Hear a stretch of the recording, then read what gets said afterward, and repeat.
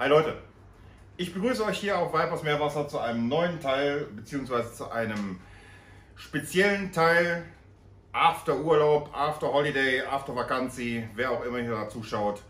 Ähm, was passiert ist, was nicht passiert ist, zeige ich euch gleich nach dem kurzen Intro. Bleibt dran!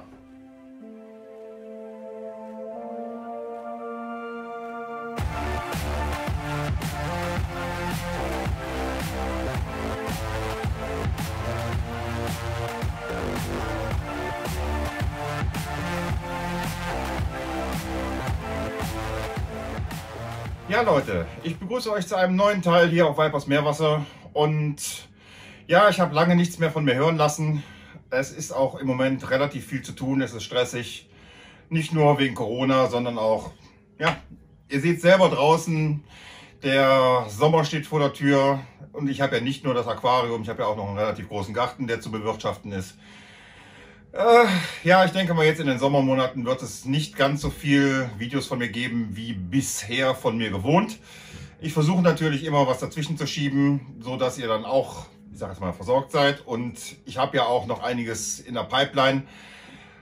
Ähm, ja, kommen wir jetzt aber zu dem, was ich hier in diesem Video kundtun will. Ähm, ich habe im Endeffekt tatsächlich jetzt mal Urlaub gemacht und die entsprechenden Vorbereitungen, die dafür zu treffen sind, um mein Becken ja, sicher rüberzukriegen von der einen Woche in die nächste, ohne dass ich anwesend bin, das zeige ich euch jetzt gleich hier. Ja, grundsätzlich ist es so, ähm, dass wenn man in Urlaub geht, dass wir eigentlich alle das gleiche Problem haben, haben wir jemanden, dem wir das Becken anvertrauen können. Und ist es wirklich so aufgestellt, dass es auch, ich sage jetzt mal im Endeffekt, die eine Woche mit Fremdbetreuung überleben kann. Sollte es eigentlich, also grundsätzlich, wenn man ein Aquarium sich anschafft, sollte man im Vorfeld dann darüber nachdenken, wann fahre ich in Urlaub? Ähm, ist das Becken vielleicht bis dahin schon stabil oder nicht? Und wenn es dann passt, dann kann man das Becken, so wie ich das gemacht habe, im Prinzip an meine Nachbarin übergeben mit ganz geringem Aufwand. Und äh, was ich da im Vorfeld vorbereitet habe, ist eigentlich relativ einfach. Ich habe erstmal meine Osmosebestände aufgefüllt, so dass meine Nachbarin ähm, im Prinzip nur noch über meine Fernbedienung beziehungsweise über mein Schlauchsystem ein Knöpfchen drücken muss, um das Osmosewasser aufzufüllen. Das ist das Erste. Kann man natürlich auch mit anderen Möglichkeiten äh, regeln. Ähm, das nächste wäre ähm, die richtige Futtermenge. So, jemand, der das Becken nicht kennt, beziehungsweise das Becken, was zu betreuen ist, nicht kennt, sollte immer darauf achten, dass äh, wenn es fremd äh, versorgt wird oder betreut wird, dass ähm, die Futtermengen, die gefüttert werden und die Zeiten dementsprechend vorgegeben werden. Ich habe es zum Beispiel so, dass ich die entsprechenden Würfel, blende ich euch mal eben noch mit ein. Ähm, ich habe ja die, diese Eiswürfel, beziehungsweise portioniere mein Futter in diese Eiswürfelbecher, beziehungsweise in, den, in die Silikonformen ein. Und das ist genau die Futtermenge, die ich über den Tag brauche. Die gehen zweimal am Tag, geht äh, ein so ein Würfel da rein. Ähm, also ein Würfel an zwei verschiedenen äh, Zeitpunkten. Und das war im Prinzip dann auch schon im Prinzip alles, was meine Nachbarin machen sollte. Bis auf eine Kleinigkeit noch, die dieses Jahr dazugekommen ist. Und die zeige ich euch jetzt.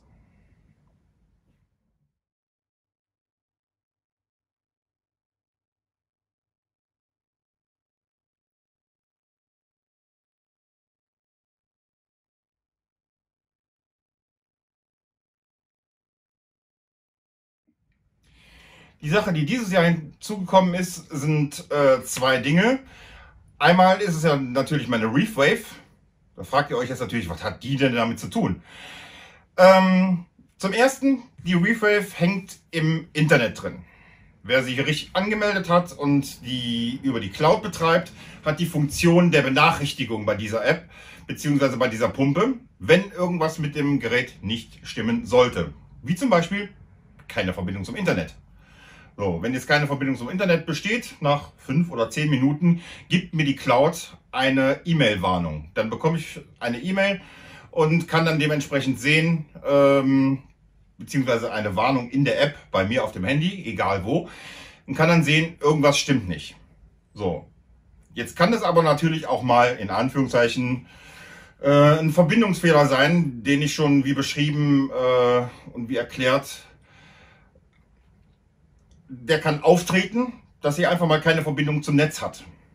So, jetzt habe ich eine zweite Sicherheits, ähm, ein Sicherheitspaket noch eingebaut und zwar ist das eine Cam. Und zwar eine Überwachungscam, die ich per App aus dem Netz heraus ähm, drauf zugreifen kann.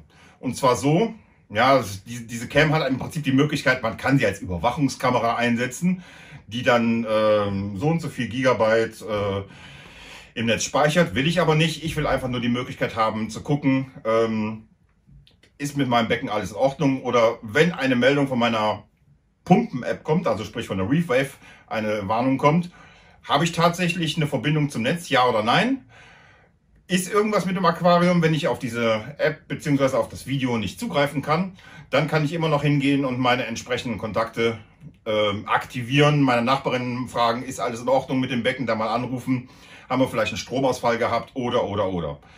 So habe ich mich jetzt dieses Jahr auf dem äh, Urlaub vorbereitet. Wir waren anderthalb Wochen weg, also länger wie sonst. Und das hat wunderbar funktioniert. Wir hatten einmal eine Situation, da hat die App sich gemeldet die Reefwave und das war aber nur ein Internetausfall. Aber dementsprechend hat man natürlich erstmal in dem Moment, oh scheiße, was ist los? Aber grundsätzlich ist es so, ich habe die USV am Laufen bei mir, die dafür sorgt, dass das Becken zweieinhalb bis drei Stunden immer noch ähm, mit Strömung versorgt wird. Das ist schon mal der erste gute Punkt. Wenn danach die Strömung ausfällt, lebt das Becken immer noch anderthalb auf zwei Stunden weiter, weil die Korallen ja dementsprechend hingehen und die Fische Sauerstoff ziehen. Ähm, hat man also roundabout ein Zeitfenster von ungefähr fünf Stunden, sage ich jetzt so pauschal in die Runde. Das heißt, in diesen fünf Stunden kann man reagieren. Ich habe einmal, wie gesagt, meine Nachbarin, die nur die Routinearbeiten macht, äh, Wasser auffüllen, äh, füttern und dieses Jahr musste sie halt die Scheiben noch sauber machen, damit ich über die Kamera sehen kann, ob noch alles in Ordnung ist. Und im Hintergrund hatte ich dann noch einen äh, anderen Aquarienkollegen, den Marvin, der bei mir hier in der Gegend wohnt, der auf mein Becken eingewiesen ist, der auch wusste und weiß, wo alles steht und tut und macht. Der hat selber auch ein sehr großes Becken. Und das wäre dann mein absoluter Notfallplan gewesen, wenn irgendwas passiert wäre. So, Jetzt ist mit meinem Becken bis auf eine einzige Kleinigkeit nichts passiert. Und die Kleinigkeit, äh, die bei mir passiert ist, ähm, mein, äh, meine Drachenkopfseenadel, die ich eingesetzt habe, habe ich nicht wiedergefunden. Ich weiß es nicht, ob sie eingegangen ist, ob sie in eine Pumpe gekommen ist. Sie ist auf jeden Fall nicht mehr da. Das ist das Einzige, was mir, bei mir passiert ist. So, jetzt hatte ich gestern dann einen kleinen Notfall. Ihr seht es wahrscheinlich im Hintergrund auch, dass wieder die Ablegerbänke in meinem Becken hängen. Und ähm, der Kollege, der sich um mein Becken im Notfall kümmern sollte, hat sich bei mir gemeldet und hat gesagt, äh, er hat einen Nitratpeak gehabt. Und zwar ging es sich darum, er hat äh, Drahtalgen von einem guten Bekannten bekommen. Und diese Drahtalgen haben sich nach kurzer Zeit bei ihm im Technikbecken aufgelöst. Ja, somit hatten wir einen Peak in diesem, glaube ich, 1200 Liter Becken von Nitrat 5 auf Nitrat 100. Fragt mich jetzt nicht, wie das passieren kann. Also bei, bei Drahtalgen ist es so, die können sich auflösen. Ähm, das sieht man denen im ersten Moment nicht wirklich an. Fakt ist, ähm, seine ganzen SPS sind zu 80 Prozent platt. Und das bisschen, was ich jetzt da noch stehen habe, ist der klägliche Rest und das Backup.